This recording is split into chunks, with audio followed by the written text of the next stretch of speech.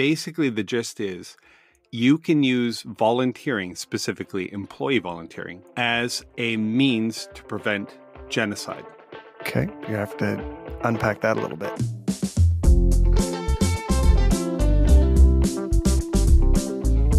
Hey there. If you've joined the podcast today, my name is Chris Jarvis. I work with companies on employee giving and volunteering programs. And my name's Jake McIsaac. I spend a lot of time thinking about public safety and restorative justice. So we are having conversations here that we've been having for 20 years. Yeah, the only difference now is we press record and share it with you. Thanks for joining us. So today we're going to talk about big things travel, conflict, uh, the invasion of Ukraine, so big things. Yep. Uh, the humanity of both sides, the dehumanizing of both sides. And how to make sense of what you're seeing, what you're hearing, and how to do that, how to find those human connections. Right. And in all of it, how to be careful not to be caught up in the dehumanizing, othering yourself. How do you know it's happening, and what do you do when you think it might be?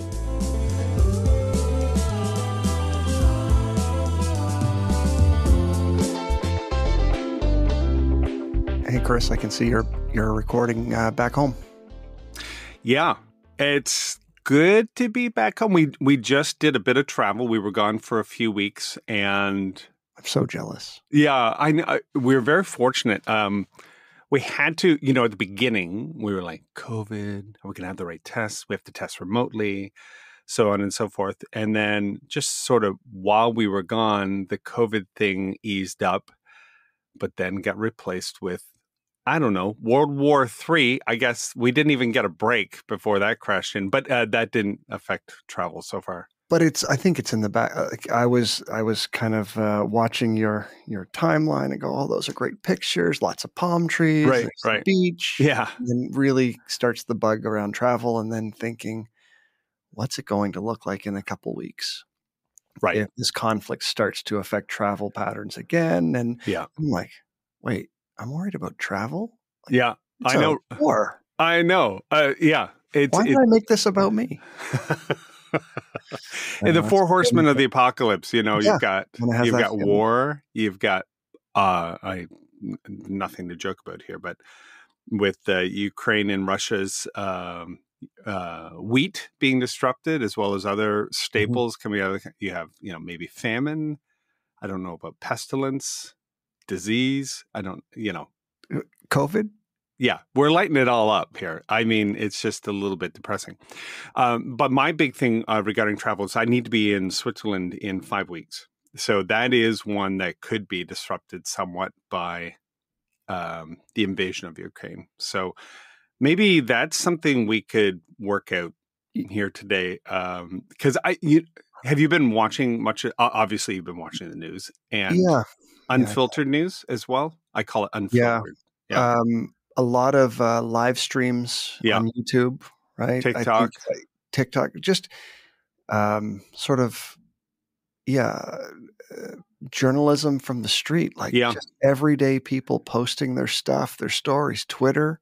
Yeah. Um, I mean, it's it's been heartbreaking. I think unfiltered is the right is the right word. I found a couple folks. It's interesting. I found a couple of folks on TikTok who just are, you know, we here's what we heard. We checked the facts. We geolocated. This is what we know. Mm-hmm. No commentary. And if they do do commentaries, they just announce it up front. They're, this is our opinion. We cannot back up anything we're saying here's what we think though based on our analysis. Take it for what it's worth. It's interesting i know we're not talking about journal, journalism and unfiltered news versus filtered paid for and bought news which it all is on media stations. But it is it is interesting to just get a glimpse from from somebody's iphone both on the russian and the ukraine yeah. side what's actually happening. That kind of and i've been think i've been watching it because I'm curious about the humanity on both sides. I, I feel for both sides being forced into this because of one person's decision in a totalitarian state. It's it's extraordinary.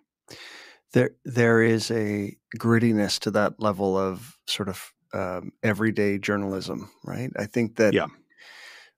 we thought it was this way, or at least we're socialized to believe that um, all journalists were um, impartial and unbiased. Mm-hmm.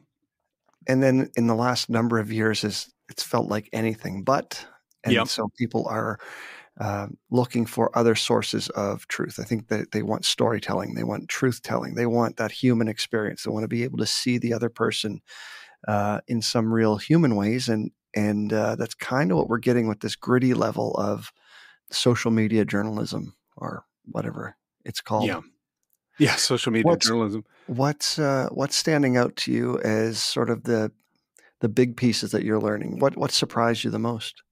Well, in in our work, we we actually uh, with companies and organizations wanting to support corporate social responsibility, the private sector investment and community, we had been over the past two years having some really interesting discussions with some organizations in the Russian Federation and laughing with everybody on the call. And also, uh, we've gone to Kiev and we've done presentations there. We know um, some people there who are working um, in their communities and trying to bring that insight to the private sector to help give more, do more to build society. So both sides, you know, both sides in this conflict were, we were talking to people who were very interested in those things. Um, what stood out to me is just seeing those individuals' reaction to it mm-hmm. um, on the Ukrainian side. This can't be happening. It's happening, and then just going out, not even wanting to kill the invaders, just sort of you. You're being lied to. You're being deceived. Go home. We'll give you money for your tanks. Just go home. Stop being here. Like, sort of, it's quite different than what you imagine World War II was like, which was an unknown enemy, an unknown invader coming and we fight the, you know, and they were dehumanized, so on and so forth. But here, there's just, you know, both sides are pleading for the same thing, um, except for a small group of individuals who have been conscripted, are far away, are not being told the truth, are incredibly young. And that's the interesting thing how you know, to be honest, Putin couldn't even sell this internally. He had to come up with the neo-Nazi hmm. line to try it, which they've been doing, I guess, for years to try and justify it because he knew his own people weren't going to go for it. You talked about your work, and I, have got to ask. So, corporate social responsibility. Uh, you tend to work with groups who who say we want to be more involved, we want to be more responsible, we want to make a difference, yeah, we want to help in some ways. Yep. When something like this happens and it's right in your face, does that is that what people are asking? Hey, Chris, how, how do we help? What do we do? Like, where should people start? Well, you know, in our work, I have a talk um, that I I give parts of or versions of, and right. basically the gist is you can use volunteering, specifically employee volunteering, because we're talking to companies, as a means to prevent genocide. Okay, you have to unpack that a little bit. All right. So um, there's a great series that everybody listening should check out. Uh, I think we've mentioned it before. Make sure it's in the show notes. David Eagleman, he's a neuroscientist, uh, wicked brilliant. Uh, I think he's down at Stanford now. He may have moved to the next thing, but he uh, has written several books. But in 2015, he did a series for um, PBS called The Brain. Yeah. Episode five, Why Should I Need You? And he, he in that episode, he wants to understand how brains connect with each other because they need each other to survive. A brain in isolation is considered torture, so it's it's sort of a, a hive, mm. but it hives to its own. So the more brains that oh, it's stupid to talk like this, uh, like with brains, but the more you see your own reflection in those around you, uh, social identity theory, same language, mm-hmm same background, same socioeconomic status, same color, same shared experience, that kind of thing.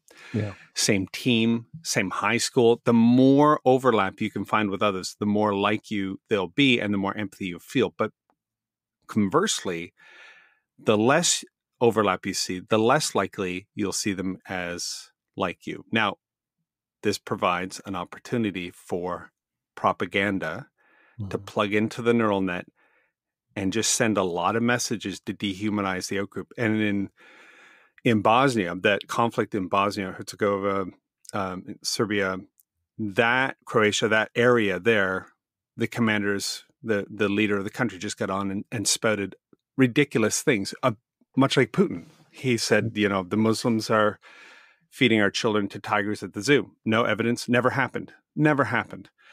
But it enraged the one group and they turned on the other group because it just pounded the message over and over. They're not like us. They're demons. They're not even human. They're not even human. They're not even human. Be afraid, be afraid, be afraid.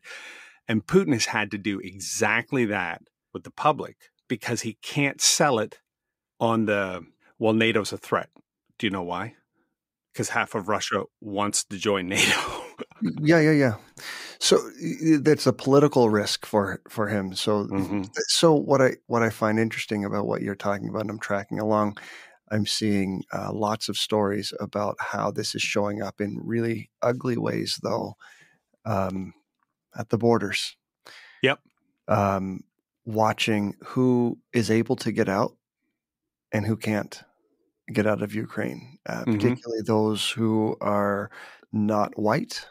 I, some of the uh, some of the language used. Now, to be fair, we're talking about different types of media. This is more traditional, but really dividing the world into Ukrainians and non-Ukrainians, mm-hmm. or Europeans, non-Europeans, um, and pretending that um, sort of the the nationality of folks is the same experience as the race of those who are trying to get out. And it does seem that, at least in some stories, that um, people of color are being left behind at an astonishing rate at the uh, at the borders. Yeah, uh, not even allowed on the trains. Yeah, like uh, the yeah. I think there were a couple hundred Indian students and then a number of students from different countries across Africa in the yeah. unfiltered media. They're on there saying they're not letting us on the train. They're kicking us off. They're yelling obscenities at us, and they're all in in the same situation. And so, even that's the astonishing thing is the human's susceptibility to othering. It is extraordinary, and it's the only way you can have war and genocide. Well, I, w- I wonder if that is speaking to a little bit of you know when when you talk to people of color, I don't think very many folks would be surprised to see um, you know racism showing up even in these circumstances because it is for all of us our lived experience on a, on the everyday. Yep. But there's some urgency uh, created in this war environment. It's not that you can't go; it's us first. Yes. Then you. Yes. Whenever there's scarcity, it's always us first, yes. then you. Yes. Um, to this uh, taking care of your in group. And then whatever else comes out is the uh, out of the generosity of the surplus, we can help the others.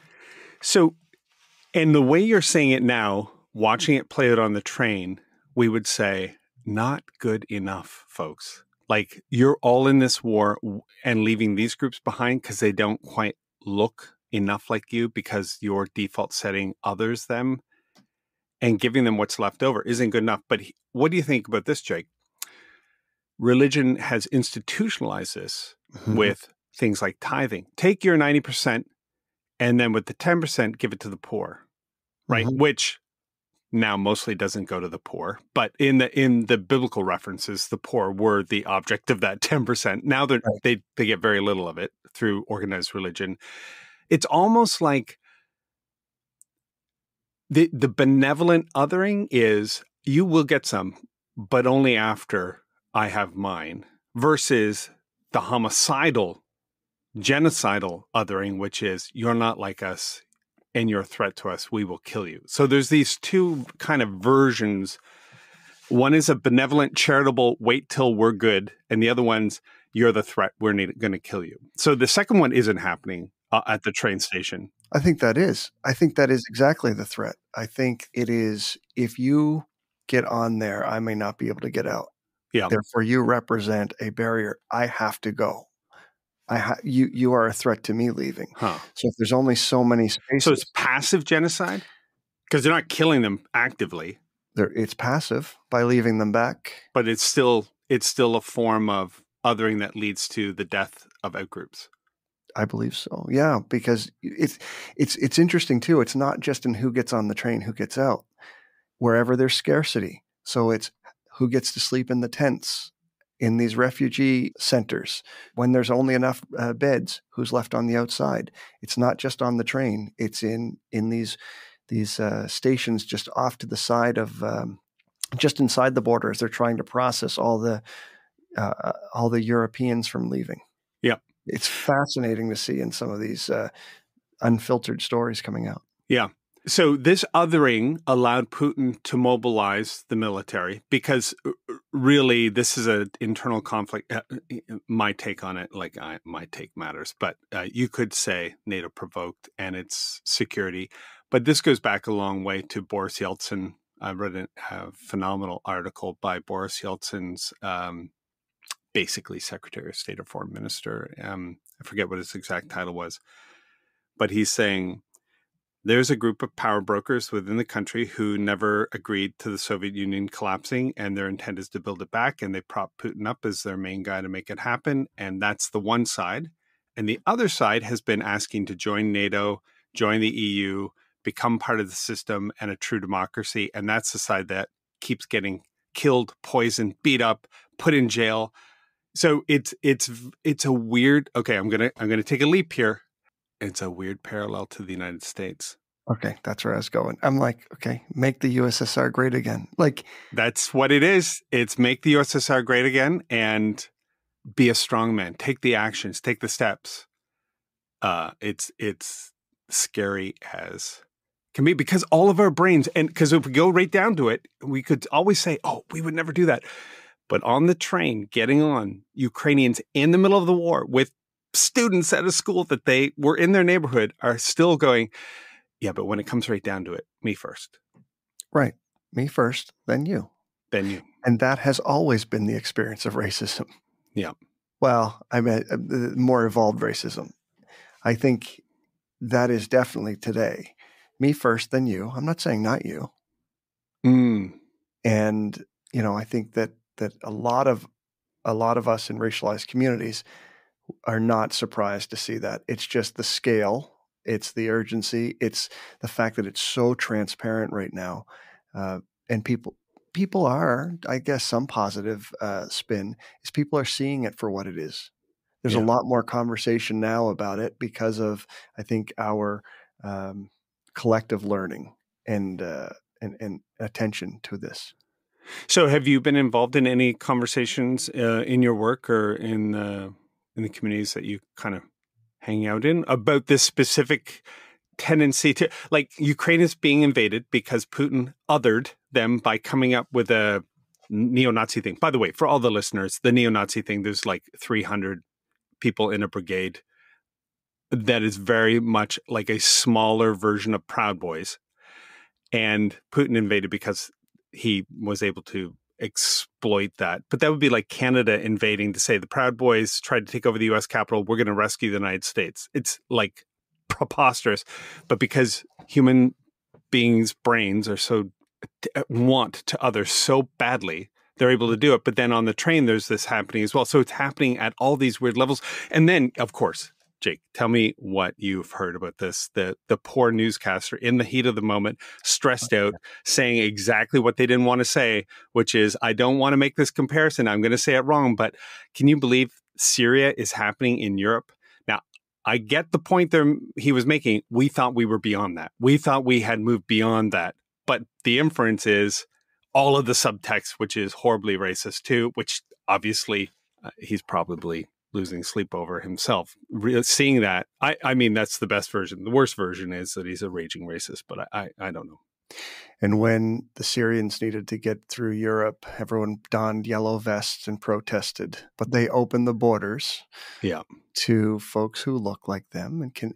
And Poland got elected. The, the, the current regime got elected on keeping out people in this very situation. Mm-hmm. And yet, so proximity, right? Proximity, yep. familiarity, similarity, these in-group markers certainly play a part. And so you asked if I've had any uh, experience. Yeah, so working on a university campus where students live in sort of um, communal housing, you share the same washrooms and the same kitchens and the same living spaces, but you have your dorm room, and so they decorate their dorm room doors to be uh, unique. That's their little um, identifier. Yeah. Little taste of home. Yeah. Little taste. And so starting to see people put up flags in support. Yeah. Okay. And then trying to create a community where people are, we value diversity, we value it's inclusive. And then some flags show up that are Russian and some flags show up that are Ukrainian, and there's conflict because mm-hmm. we've not taught people how to have conversations. Yeah, that's it. How to share these uh, these views, and so really, um, yes, I've had some uh, conversations with students um, on both sides, just asking them, how does it feel in your living space to be um, confronted with these various uh, flags from whichever one uh, yeah. view you espouse, and um, some saying it feels very, I feel safe, I feel supported uh, others saying I feel ostracized, but really trying to make sure that conflict doesn't um, doesn't arise, uh, that that they actually have the skills to talk about it. Is it? How's that going? It's going okay. Um, I think that uh, being attentive to it and really creating some spaces where there's lots of support, where there's ongoing conversations, knowing that you know, um, there are conversations that are held by professionals, like within our counseling services departments, that can bring communities together to talk when there's a particularly um, trying news cycle, and and people who are likely afraid or can't get in touch from home, can't find family, people who are um, migrating across Europe. So there's some of that. So making sure people are supported, but really one to one, making sure that students can still have conversations that are um, that are uh, of divergent views, but be respectful, that they keep the conversation, uh, keep the pathways to good communication open. So it's going okay. Yeah. It's, you know, it's hard to draw parallels because the situations aren't the same. How would it have worked for you if it was 1939 and people put up flags of Poland or flags of the Nazi regime? Well, I got to tell you, as a black man, I'm not loving the flags of the Nazi regime. in 1939. But so, yeah. I, but you I, wouldn't have known. I mean, in Madison know. Square Gardens just years before, they had a solo crowd of Nazis saluting speakers talking about why the United States should join and support Germany. That sold out crowd in Madison Square Garden. So it is not inconceivable that if you were working on a campus in New York, that a number of students who attended that rally and were of the mindset the United States should just keep out of it and let Europe solve the problems, you would actually have to have brokered in the moment, without the hindsight of all of the Holocaust, you'd have to broker a conversation, a peaceful conversation between pro Nazi and pro Polish people on a campus. Yeah.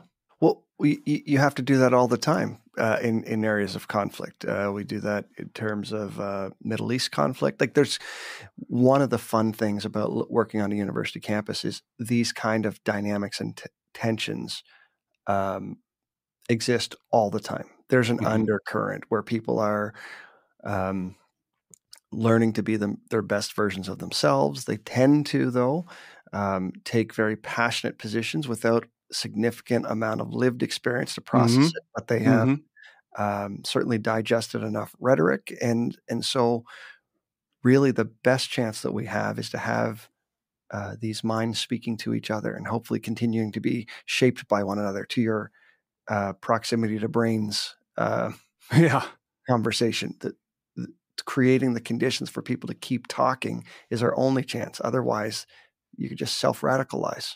Meaning you could talk yourself into the, an extreme point of view. Extreme point of view, and and you don't have anyone else to bounce it off of. So to your to your uh, example of um, being isolated or ostracized or um, I can't remember what you said about segregated. It's torturous. Yes, uh, yeah, yeah. If if you keep a human being in isolation away from other people, that is considered torture, and that is because brains need other brains in a in a kind of a hive idea to survive. Mm-hmm. So it, it's interesting. Okay, so another a couple aspects here.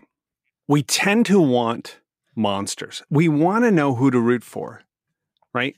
Yeah. We want to know who's who's Darth Vader here? Who's Princess Leia? Which side should I be on?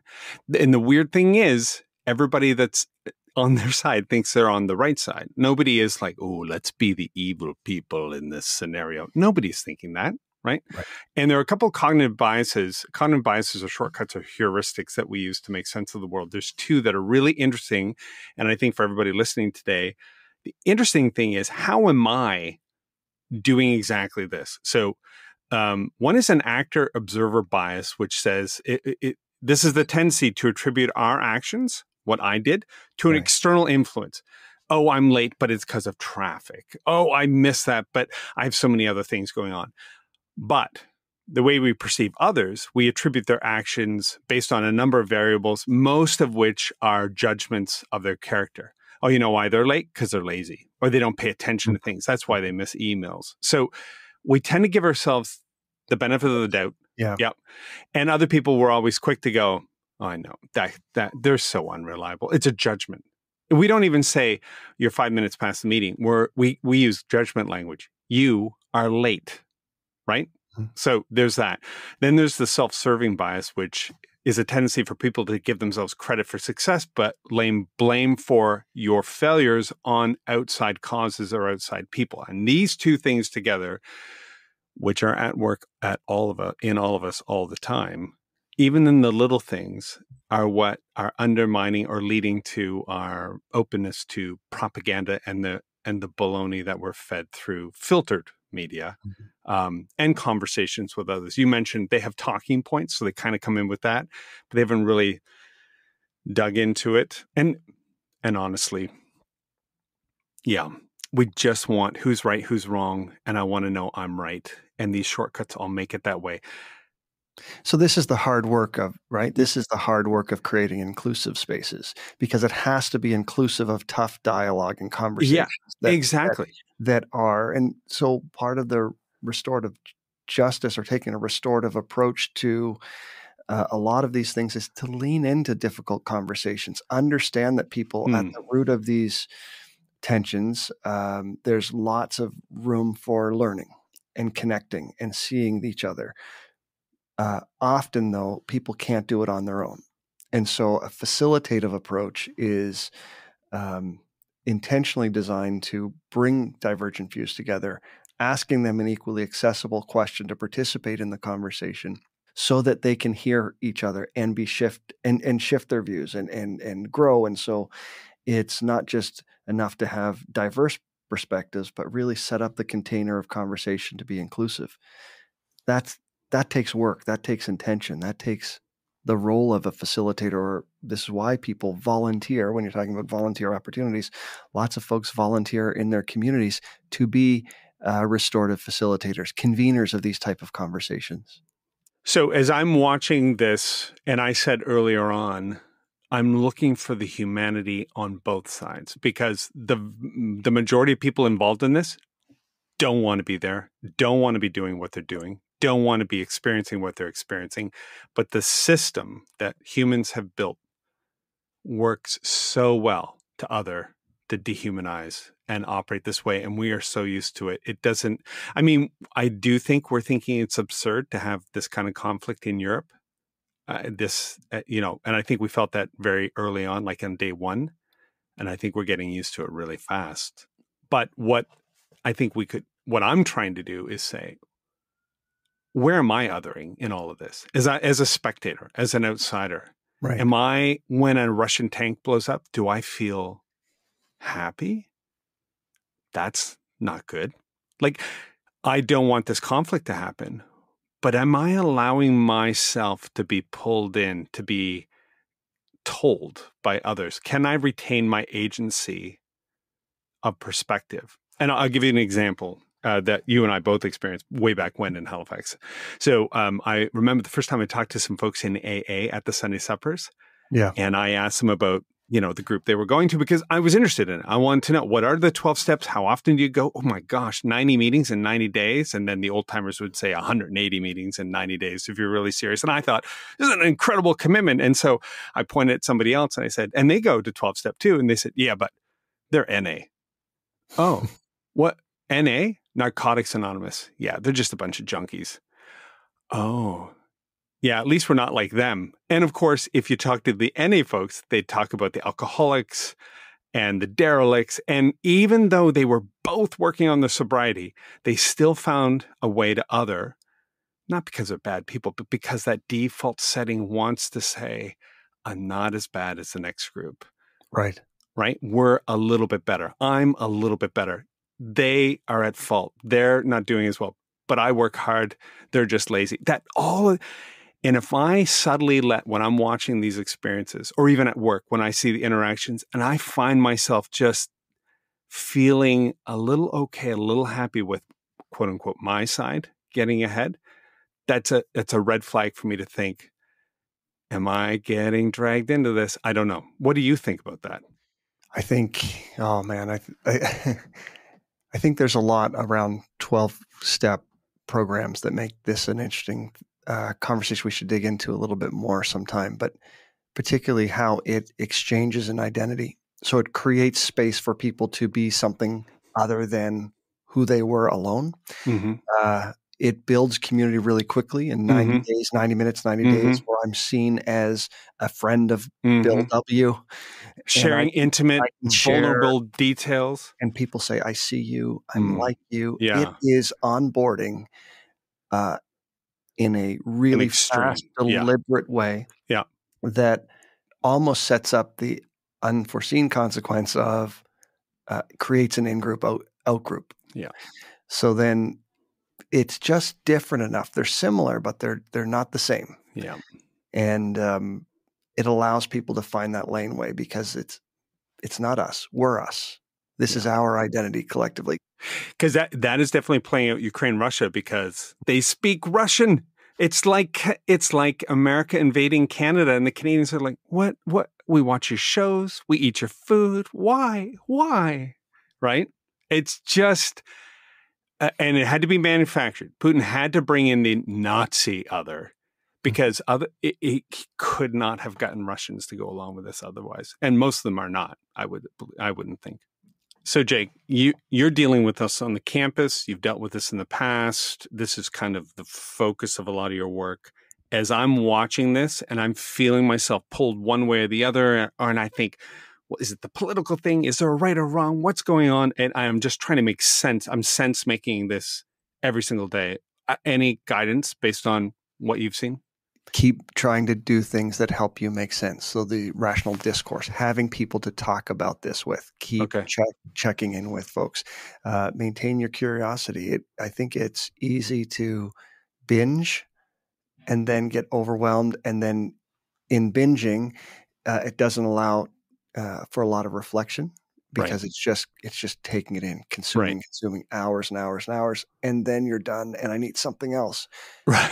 leave some time instead of binging to the leave room, leave room for talking it over, leave room to stay curious, leave room to be thinking about it, um, and you know do some self care. Be make sure that uh, it's done in balance, uh, that there's plenty of access to a range of views and, and perspectives and look for those uh, pathways where you can see the human.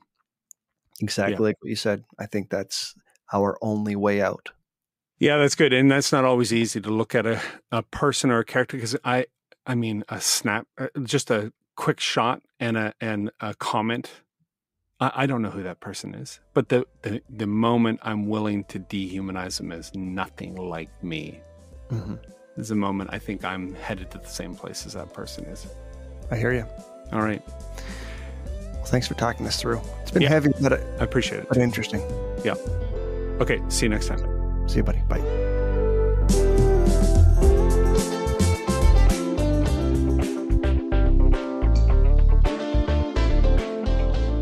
This has been a Podstarter production.